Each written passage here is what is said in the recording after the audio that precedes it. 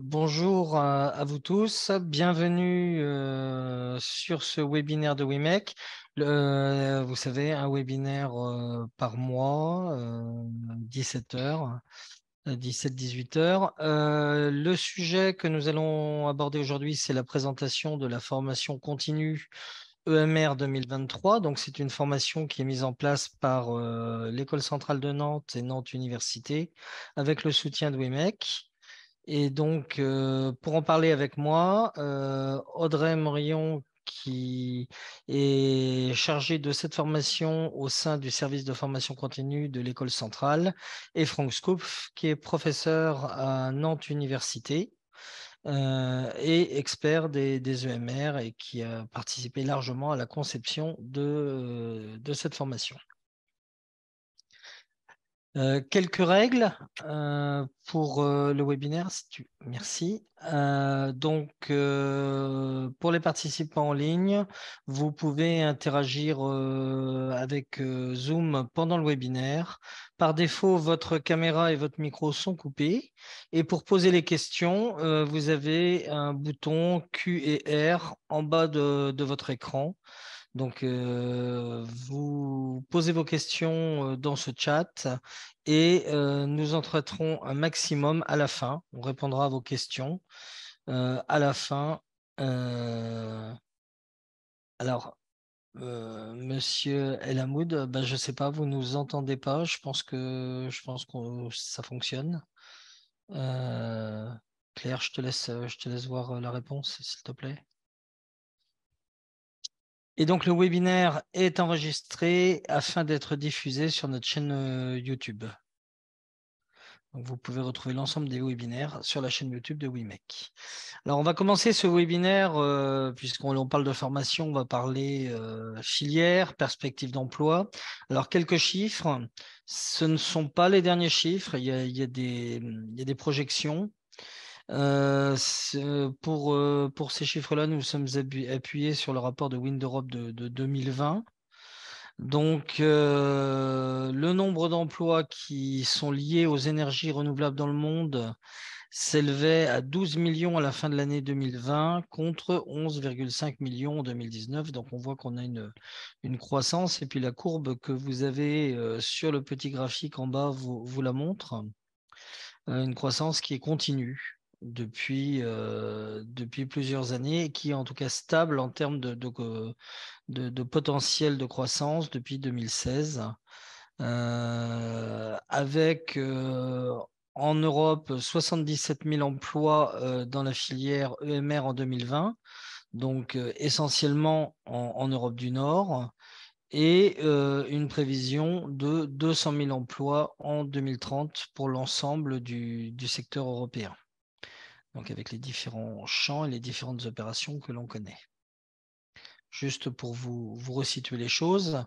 Euh, si on se focalise un peu plus euh, vers la France, euh, en 2021, il y a plus de 2,6 milliards d'euros qui ont été investis dans la filière EMR, avec un chiffre d'affaires de plus de 1,3 milliard d'euros ce qui représente, euh, d'après euh, le rapport de l'Observatoire des énergies de la mer, hein, qui fait une enquête tous les ans, 6 591 emplois directs avec les, sociétés qui ont été suivies et qui ont répondu.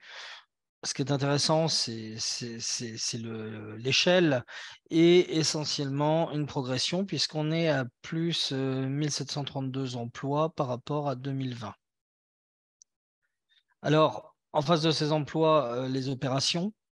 Euh, bah, c'est la construction euh, des quatre premiers parcs commerciaux éoliens français qui correspondent au premier appel d'offres, avec notamment la mise en service au mois de décembre du, parc éolien de Saint-Nazaire et donc les, premiers kilowatts injectés sur le réseau. Donc, vous avez les technologies. Hein, en bas, vous avez un petit graphique, un petit camembert, beaucoup de, de technologies sur, sur l'éolien. Euh, notamment l'éolien posé. 77% hein. des, emplois euh, sont liés euh, à l'éolien posé, ce qui est normal, puisqu'on on a l'installation des champs, on a, des, on a des, également des emplois manufacturiers autour de ces technologies-là. de l'éolien flottant, donc qui, qui, représente, alors je suis en train de faire un calcul de tête là, qui représente 83, 17% des emplois, et puis 6% des emplois qui sont sur les autres technologies. la grosse partie, on le voit, hein, c'est l'éolien, sans réelle surprise, puisque c'est la technologie peut-être la plus mature, la plus aboutie,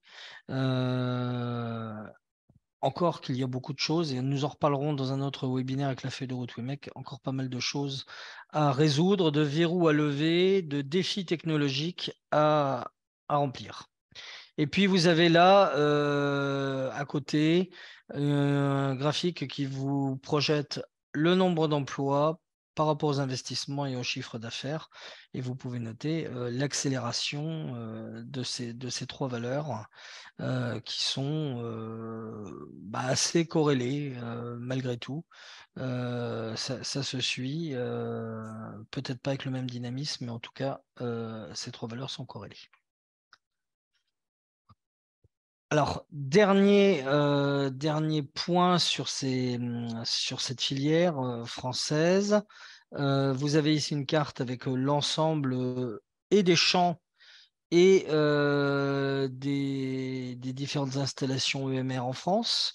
Donc, il y en a. ce qu'on peut constater, c'est qu'il y a des opérations en cours sur les trois façades la Manche, l'Atlantique et la Méditerranée.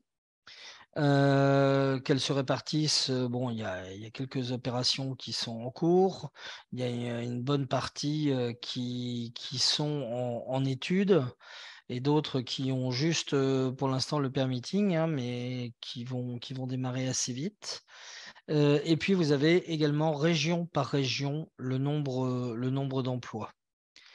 Alors, ce que l'on peut constater, bah, c'est que la région Normandie euh, concentre le plus grand nombre d'emplois, mais en même temps, la région Normandie est une région qui opère euh, actuellement deux parcs en installation, euh, deux autres parcs qui sont en projet, plus ou moins avancés, et puis deux usines. Donc il y a une partie quand même non négligeable de ces emplois qui sont liés à des emplois de pause et d'installation, et on voit bien que c'est des emplois qui vont être éphémères, entre guillemets, euh, et qui sont très liés à l'installation et qui pourront se reporter dans les autres régions au fur et à mesure des chantiers.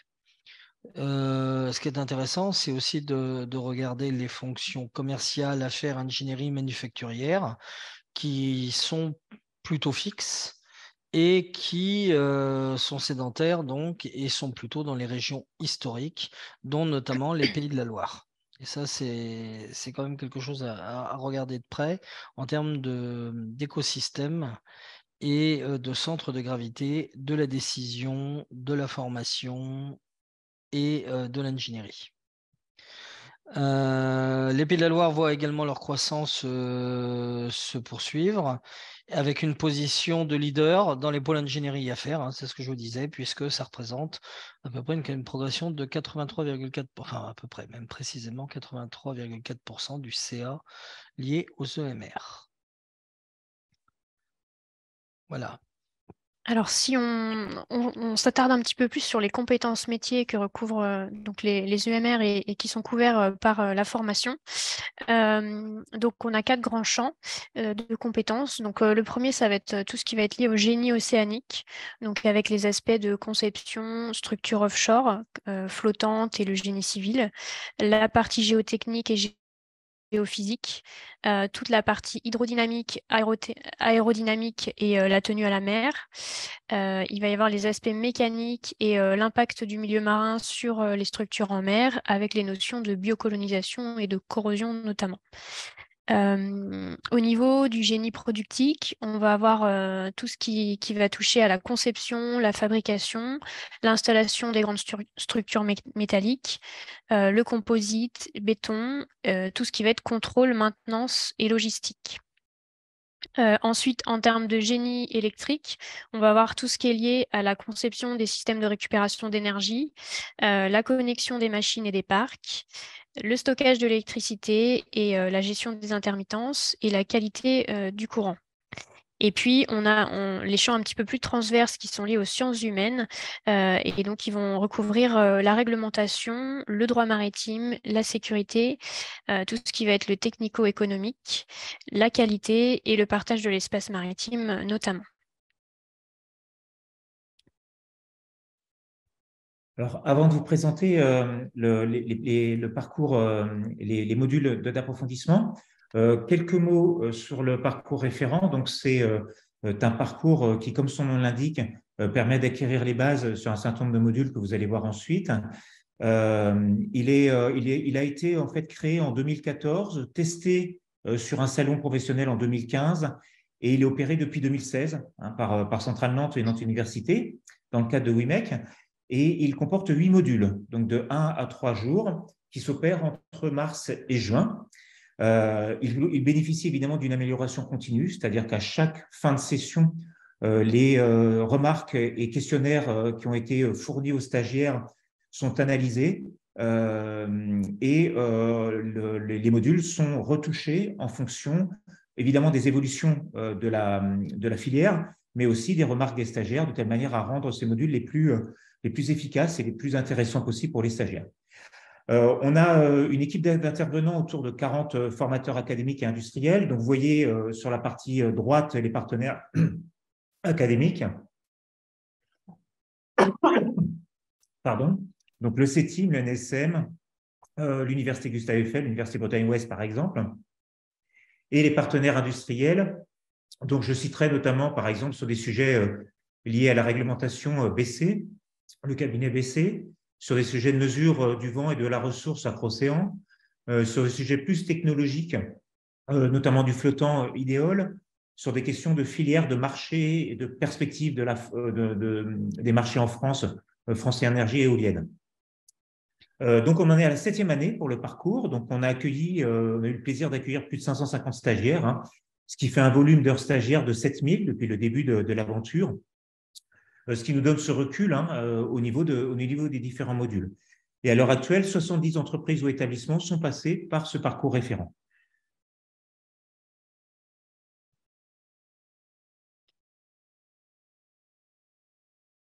Donc maintenant, on va parler un petit peu plus du calendrier euh, pour ce parcours euh, qui vient d'être euh, expliqué.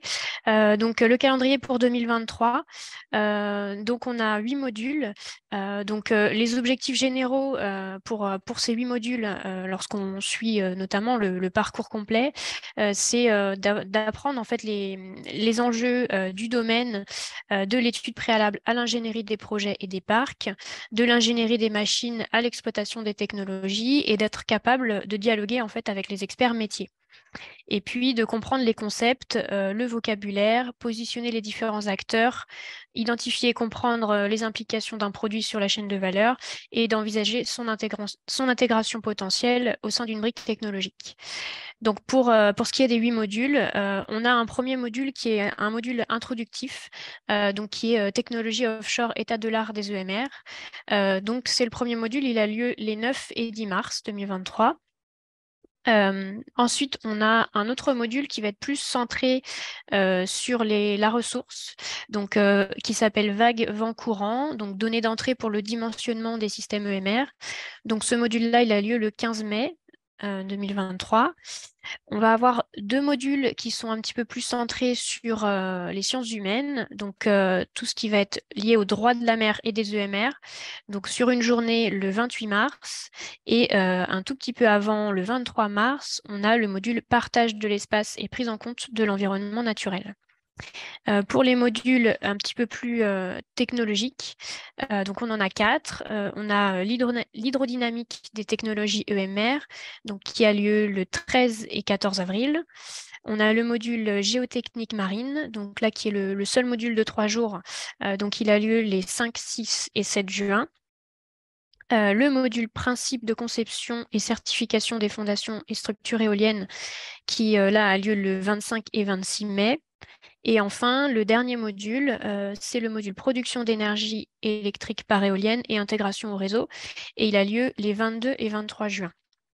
Donc on va, on va rentrer un tout petit peu plus dans, les contenus. Euh, donc je ne vais pas tout lire, mais euh, globalement, le module technologie offshore, donc c'est vraiment un module introductif qui permet d'appréhender l'ensemble des enjeux de la filière, qui donne un panorama général. Euh, le module partage de l'espace et prise en compte de l'environnement naturel, lui, euh, il va permettre de, centrer sur les enjeux euh, de la concertation entre les différents acteurs et les activités en mer. donc bien comprendre les principes de gestion de l'espace maritime, notamment les usagers, et, en appréhender toute la complexité. Euh, le droit de la mer et des EMR, donc il va plutôt être centré sur la réglementation, euh, donc euh, le fait que les réglementations sont complexes et évolutives, donc en abordant toutes les notions liées à la sécurité, sûreté et l'assurance des systèmes EMR notamment. L'hydrodynamique des technologies EMR, donc il va plutôt être lié à tout ce qui est lié à la tenue à la mer. Donc, euh, euh, vous serez en mesure de, valider une corrélation entre une stimulation numérique et des essais en bassin, de spécifier des campagnes d'essais euh, à réaliser en collaboration avec l'équipe expérimentale et dialoguer efficacement avec les bureaux d'études pour l'évaluation des chargements sur les technologies UMR. Le module vague vent courant, euh, donné d'entrée pour le dimensionnement des systèmes EMR, donc lui, il vous permettra de caractériser, mettre en forme et prédire la ressource pour interpréter euh, ces données euh, et pouvoir les utiliser dans des systèmes de récupération d'énergie afin d'en optimiser la fiabilité et la robustesse. Euh, le principe de conception et certification des fondations et structures éoliennes, euh, lui, il va plutôt euh, permettre d'avoir un schéma global de la certification et vous serez en mesure d'intégrer les principes de conception d'une structure fixe ou flottante et d'identifier les enjeux de certification afin d'être en mesure de dialoguer avec les experts métiers. Le module géotechnique marine, euh, il est plutôt centré sur euh, la définition des méthodes de caractérisation des propriétés de sol, l'analyse euh, des rapports de sol et étudier les règles de dimensionnement des fondations. Et enfin, le dernier module, production d'énergie euh, électrique par éolienne et intégration au réseau. Euh, il vous permettra d'analyser les principes de fonctionnement d'une chaîne, de conversion d'énergie, euh, donc dédiée aux EMR, d'identifier les évolutions technologiques des, des, éoliennes offshore en termes de génératrices et de commandes, de définir le rôle des convertisseurs d'électronique de puissance dans la chaîne de production électrique et d'expliquer les enjeux du raccordement au réseau électrique Alors, ce qui est très important, c'est de savoir que ces modules peuvent être complétés par des modules d'approfondissement. Donc, en général, ces modules d'approfondissement, pour certains d'entre eux, hein, il faut avoir les, compétences, certaines compétences du parcours référent. Euh, et puis, systématiquement, en fait, les, les, modules d'approfondissement font l'objet d'une discussion avec, euh, le, stagiaire, de telle manière à vérifier que les prérequis euh, sont disponibles, puisque comme leur nom l'indique, il s'agit d'un approfondissement, donc on repose sur des bases. Donc trois sont prévus cette année, hein, euh, au minimum, puisque vous verrez qu'il y, a un panel qui est un peu plus, un peu plus complet. Euh, corrosion, biocorrosion qui débute, la semaine prochaine, donc entre le 31 janvier et le 1er février. installation et ancrage qui sera programmé prochainement. Et puis l'appréhension des risques maritimes dans un champ éolien, donc qui sera programmé sur le dernier trimestre de l'année civile, donc certainement autour de novembre 2022. Donc, les autres modules euh, d'approfondissement euh, qui sont disponibles, et euh, vous pouvez du coup, merci, et vous pouvez du coup y avoir accès, notamment en consultant le, site internet, et surtout ne pas hésiter, c'est ce qui est mis tout en bas de la planche, sur des parcours sur mesure en intra-entreprise à la demande ou, des besoins spécifiques, il ne faut pas hésiter à faire la demande à l'adresse générique hein, qui est sur le site internet, sur les pages formation, de telle manière à ce qu'on réponde au mieux à vos besoins. Euh, donc ceux qui sont d'ores et déjà construits, euh, donc il s'agit du, transport sédimentaire, donc sur une journée qui a pour objectif de bien comprendre euh, la manière dont les sédiments vont se transporter au fond, vont générer de l'affouillement et, les parades qui peuvent, qui, existent. les principes de réglementaire des infrastructures en béton armé. Le béton armé est un matériau toujours un peu compliqué à appréhender d'une manière, réglementaire donc sur deux jours, on propose bien, on propose de reposer finalement le calcul réglementaire du béton et son interface avec l'armature de telle manière à, maîtriser ce matériau. Alors, ça peut être le cas notamment de l'utilisation pour des flotteurs. du monitoring de sites de telle manière à, disposer du maximum d'informations sur un site donné. Donc là, c'est sur un jour, il peut s'agir de la ressource, mais aussi euh, des euh, paramètres physico-chimiques du site, mais aussi évidemment euh, de tout l'environnement marin, qu'il soit animal ou végétal. ensuite, l'approche économique des énergies marines renouvelables, avec la manière de modéliser les flux économiques entre la production et le marché, et notamment l'intérêt de, solutions de stockage qui peuvent permettre d'améliorer la rentabilité économique d'un site. Ensuite, les études d'impact et la préparation à l'autorisation. Donc là, il s'agit évidemment d'un des points fondamentaux hein, de dérisquage de l'installation d'un champ éolien, avec euh, les études d'impact qui sont en général systématiquement demandées, et puis surtout, ces modules, ce module, mais, l'intégralité des modules, repose sur des études de cas qui permettent de bien comprendre comment on passe euh, d'une d'études d'impact à euh, des commissions locales de, concertation et la préparation à la demande d'autorisation d'occuper le, territoire maritime temporairement, puisqu'il s'agit systématiquement d'autorisation temporaire. La récupération d'énergie des vagues, pour ceux qui sont intéressés par ces euh, technologies et notamment la capacité finalement qu'on a à pouvoir récupérer de l'énergie avec différents dispositifs euh, à partir des vagues. L'instrumentation des infrastructures, donc là l'objectif c'est de, de voir comment le fait de mettre des capteurs sur ces infrastructures va nous permettre d'améliorer les stratégies de maintenance et les planifications, notamment d'inspection. Et enfin, euh, la formation logicielle libre Nemo, euh, qui présente l'avantage évidemment d'être, comme son nom l'indique, libre, et donc de pouvoir euh, s'initier, même se perfectionner au, calcul des interactions vagues-structures. Et je finirai juste par, un module qui n'est pas inscrit ici, mais qui, présente évidemment un intérêt compte tenu du, contexte des énergies marines renouvelables. Il s'agit de la formation à l'anglais des énergies marines renouvelables.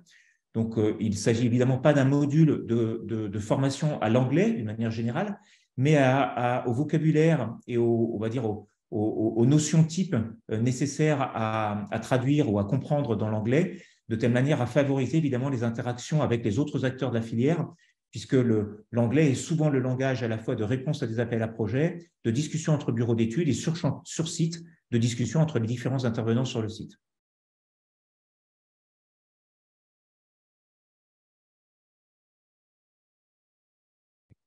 Donc, euh, donc ensuite, en termes de, public et de profil euh, des participants, donc euh, ce qu'on ce qu'on remarque, c'est qu'en fait, on a globalement un double public, donc des personnes qui vont venir chercher un perfectionnement, donc un public qui est déjà aguerri sur sur les EMR et qui va venir chercher des compétences approfondies sur la thématique du module, notamment donc un ou plusieurs modules, et puis un public de personnes qui sont plutôt en reconversion vers la filière EMR et qui viennent là chercher des connaissances un peu plus générale et euh, euh, qui, en général, prennent plutôt le parcours complet.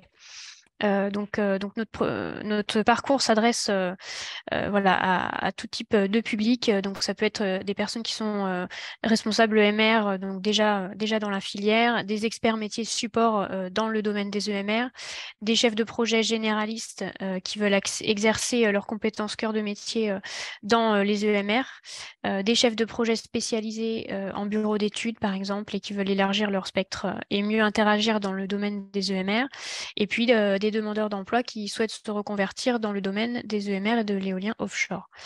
Donc, euh, on n'a pas de prérequis euh, spécifiques euh, techniques demandés. donc voilà, nos, modules sont accessibles à un public de non spécialistes, mais par contre, c'est vrai que certains modules vont être plus scientifiques que d'autres et nécessiteront l'introduction de, notions techniques et théoriques. Et, pour certains, il peut y avoir voilà, des équations ou des modèles mathématiques qui seront introduits. Euh, en termes de provenance géographique, euh, donc euh, à la fois des formateurs et des stagiaires, donc ça peut venir de, toute la France. par exemple, pour les formateurs, donc on a quand même un pool de formateurs qui est plutôt, qui est plutôt local, régional, donc avec plus de 80% des formateurs qui viennent de la région Pays de la Loire. Et pour le, public de, de, stagiaires, Là, c'est vraiment varié, mais euh, par exemple, pour 2022, on avait euh, euh, plus de 70% qui venaient hors Pays de la Loire, du coup. Donc, euh, quelques informations sur les modalités pratiques, notamment pour, euh, pour cette année. Donc, euh, on va être vraiment sur un retour du présentiel plutôt fortement demandé. Donc, avec un lieu de formation qui sera soit au Technocampus Océan, donc qui est situé à Bougnay, ou soit à l'École centrale de Nantes, en fonction des modules. Donc ça, vous serez informé voilà, quelques jours avant les, les sessions.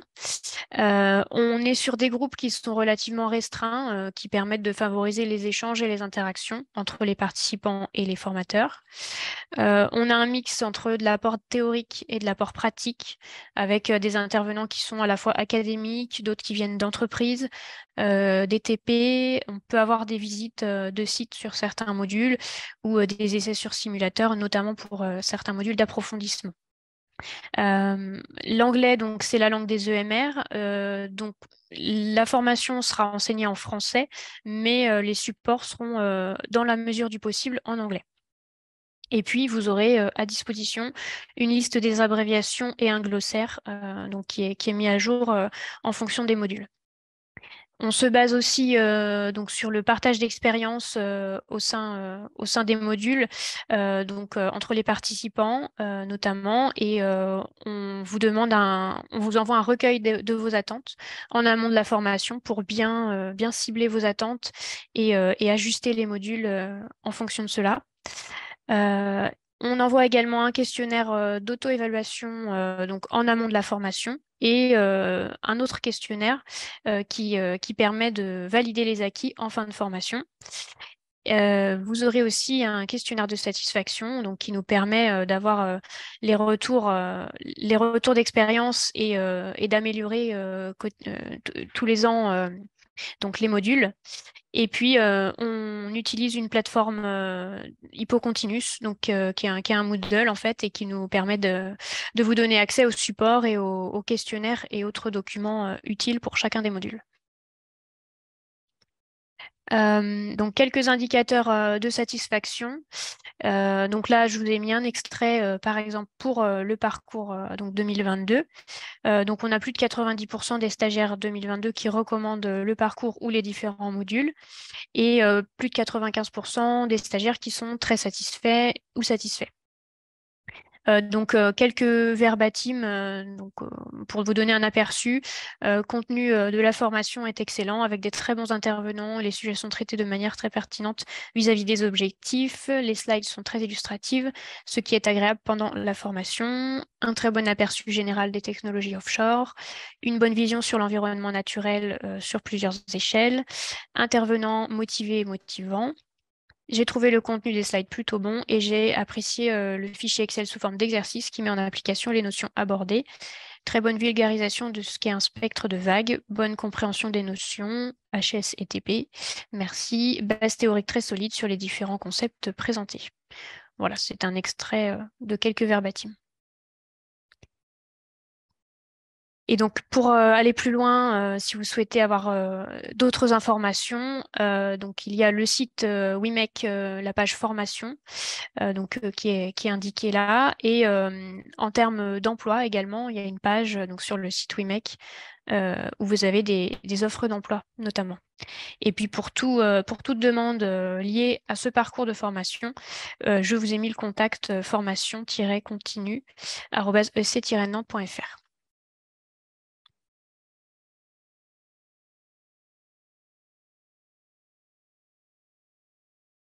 Et donc, merci de votre participation. Et donc, euh, vous avez euh, les, différents euh, réseaux et, sites où vous pouvez trouver de l'information sur, sur WIMEC et les EMR. Voilà, et régulièrement la newsletter WIMEC hein, qui essaie de recenser l'actualité de l'activité des EMR en région Pays de la Loire et pas que. Et l'inscription se fait sur le, site directement, en haut de la page du site WIMEC, sur la page d'accueil.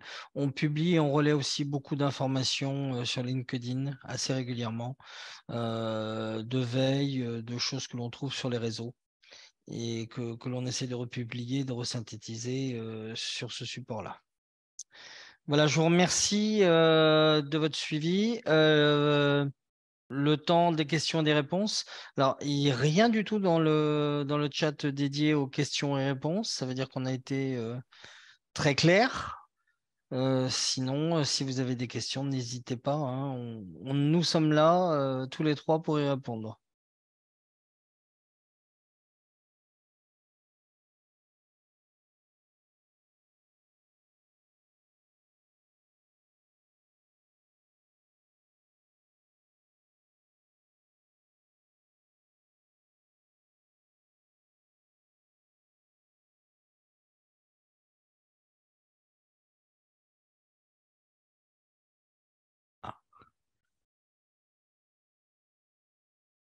Alors, Audrey, je te laisse peut-être euh, répondre euh, à la question. Euh, je, vais, la, je la repréciser pour tout le monde. Hein.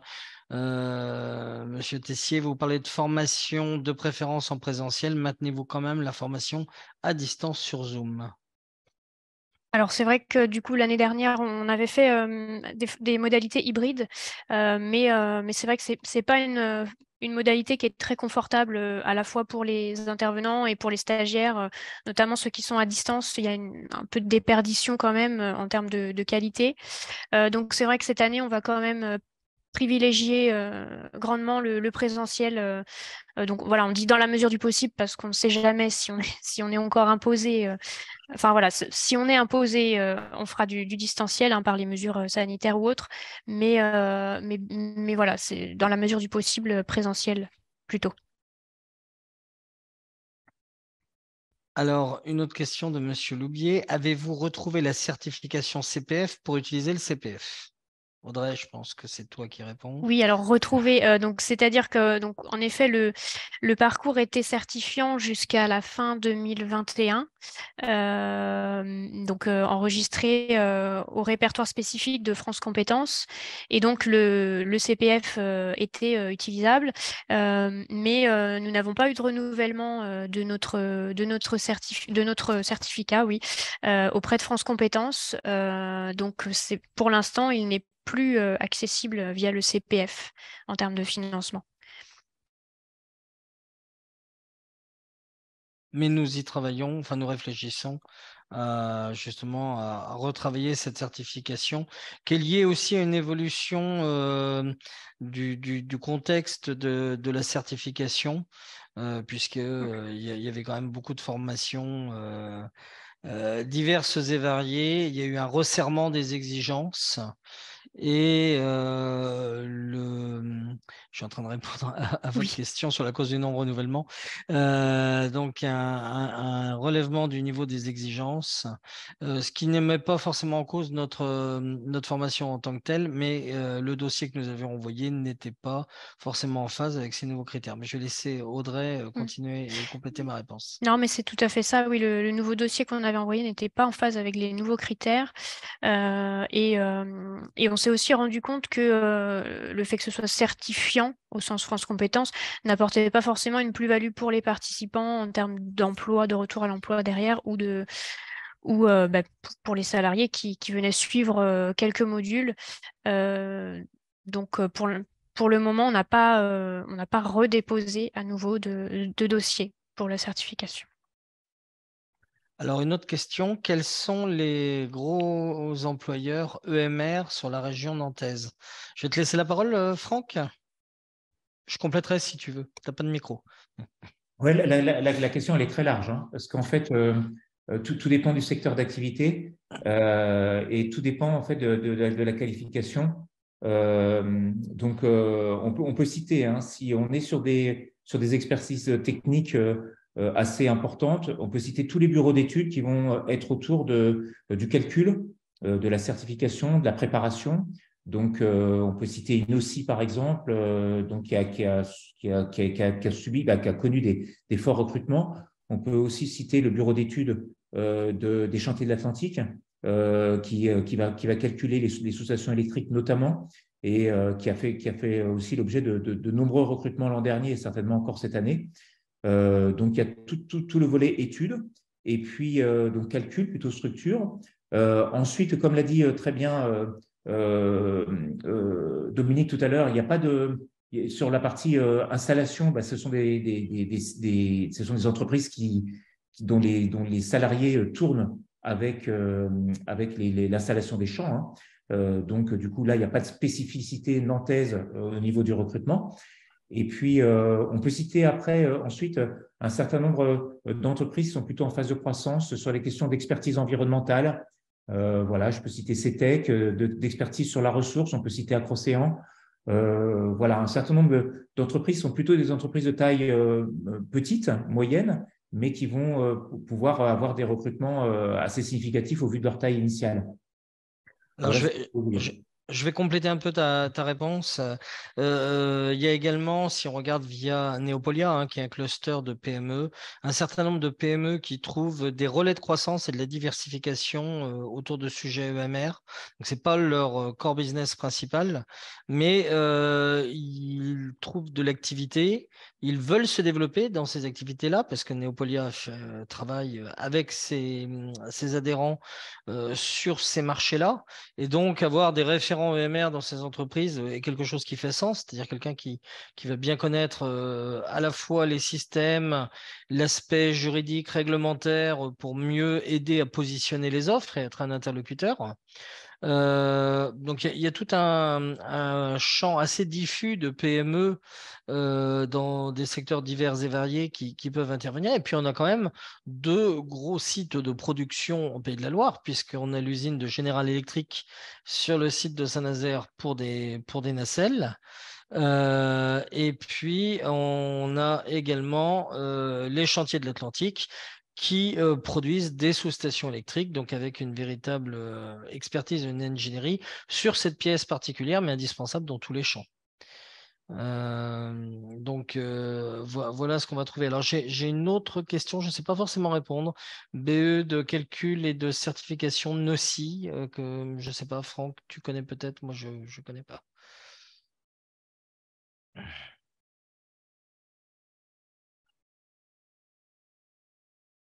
Je, pense, que c'est quand j'ai pris la parole, donc je vais répondre, je vais saisir la réponse, que c'est, en fait, c'est simplement un problème d'orthographe. Hein, D'accord. Je, réponds dedans. Tu réponds directement. D'accord. Et quels sont les types de postes et les entreprises présentes dans la région de Montpellier? Alors, je vais commencer une réponse qui peut être collégiale. Franck, tu pourras me compléter.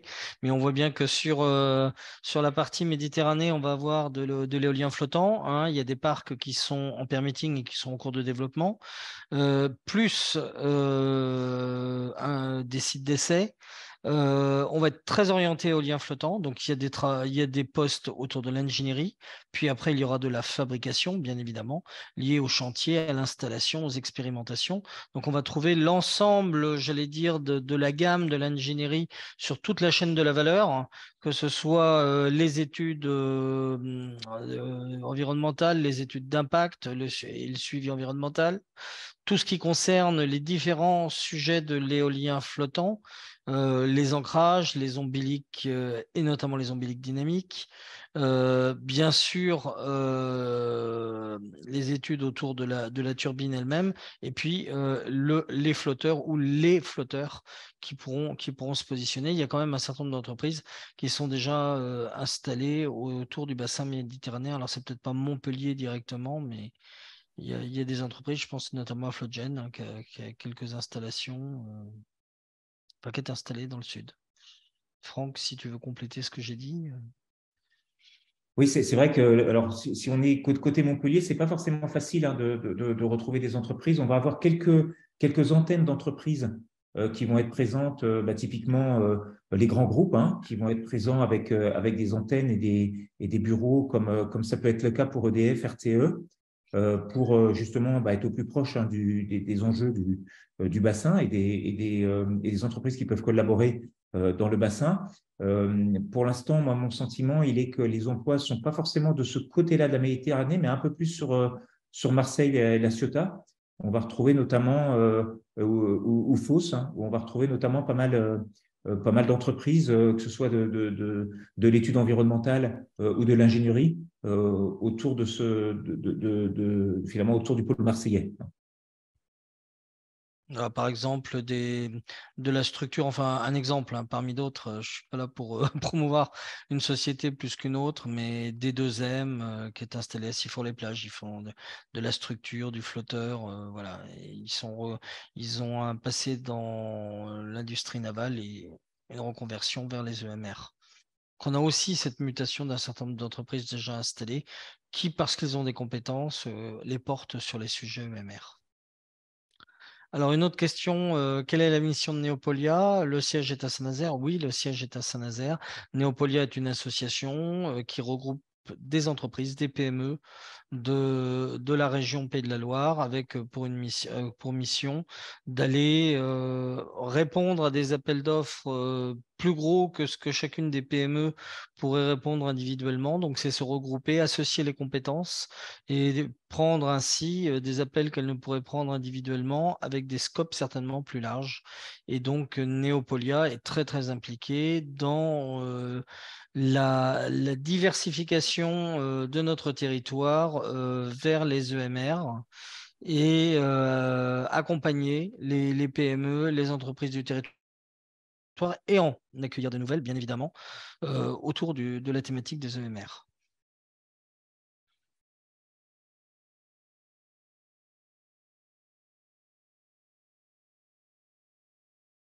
Est-ce que vous avez encore d'autres questions?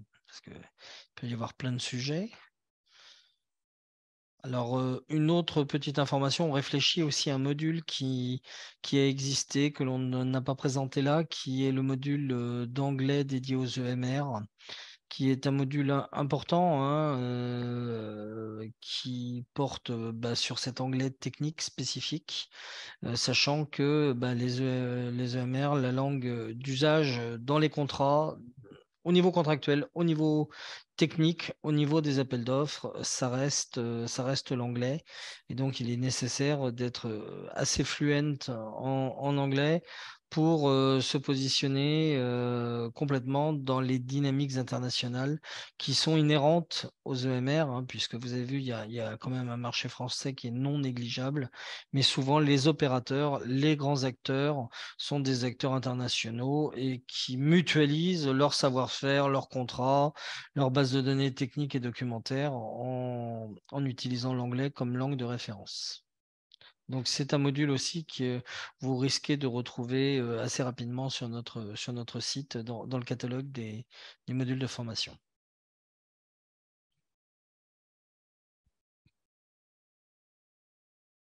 Vous n'avez plus d'autres questions? On attend encore un tout petit peu. Si jamais vous vouliez préciser un point?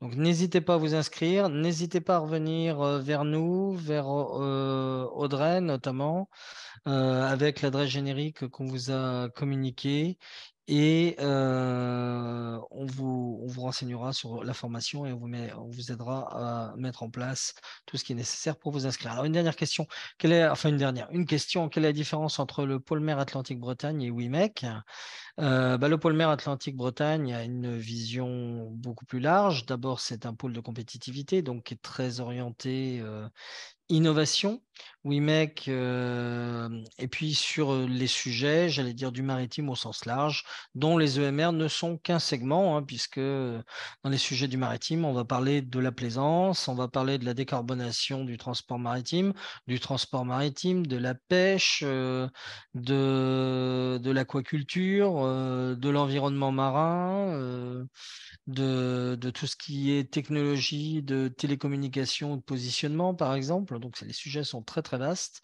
WIMEC, euh, et puis le pôle couvre euh, une zone, puisqu'il y a la notion de zone, qui euh, va du, de la Bretagne jusqu'à jusqu'à la, au sud de la Vendée, avec des liens en Gironde et des liens en Normandie.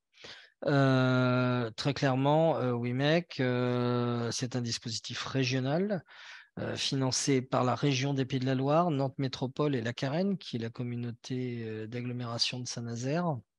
avec une vocation donc sur ce territoire-là de développer la, la, synergie entre les différents acteurs EMR autour de trois thématiques la recherche, la formation et l'innovation. Donc WIMEC supporte et soutient des actions de recherche en finançant et en dynamisant des, appels à projets de recherche, en accompagnant des équipes de chercheurs de, l'école centrale, de Nantes Université, de l'Université Gustave Eiffel, par exemple.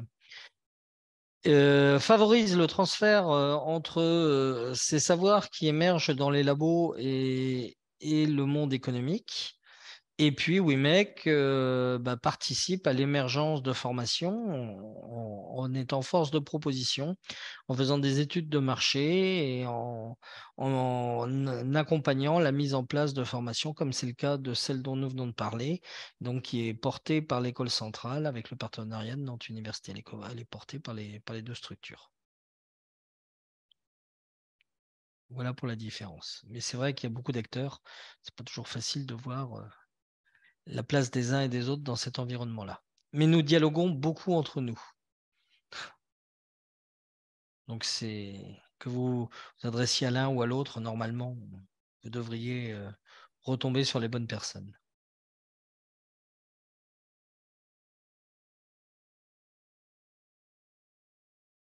Bon, écoutez, s'il n'y a plus de questions, on va arrêter là euh, ce webinaire. Je vous remercie euh, d'avoir participé. Je vous remercie de vos questions, la richesse des questions qui ont permis, permis d'élargir le scope.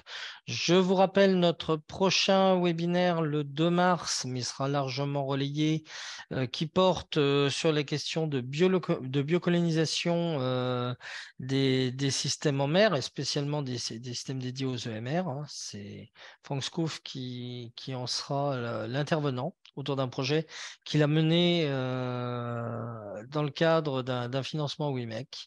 Et je vous souhaite à tous une très bonne soirée. Je vous remercie. À très bientôt.